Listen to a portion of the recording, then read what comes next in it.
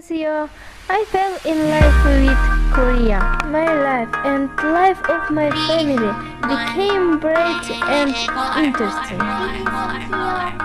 interesting.